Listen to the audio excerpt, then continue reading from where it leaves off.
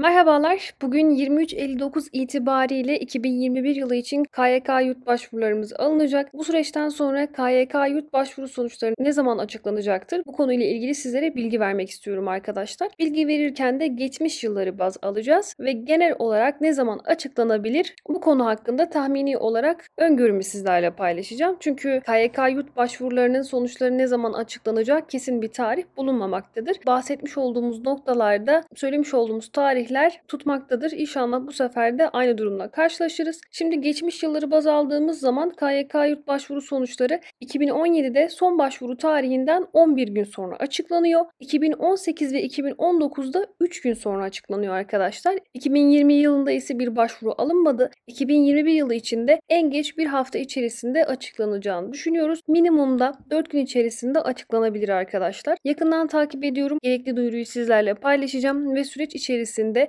yurt başvurumuz olumlu olduktan sonra hangi adımları izlememiz gerekiyor? Tek tek açıklamalarımı yapacağım. Videolarımı kanala yükleyeceğim. Eğitim hayatınızı kolaylaştırmaya devam edeceğim arkadaşlar. Toparlayacak olursak 2021 yılı için en erken 4 gün içerisinde en geç de bir hafta içerisinde sonuçlarımız açıklanacaktır ve daha sonra yurt işlemlerimiz başlayacaktır. Ekim ayı içerisinde ise KYK burs ve kredi başvurularımız başlayacak. Her zaman olduğu gibi sizlere bilgi vermeye, yanınızda olmaya çalışacağım. İstekleriniz, talepleriniz ve önerileriniz varsa yorumlar kısmında belirtebilirsiniz. Diğer videolarımızda görüşene dek kendinize çok iyi bakın. Hoşçakalın.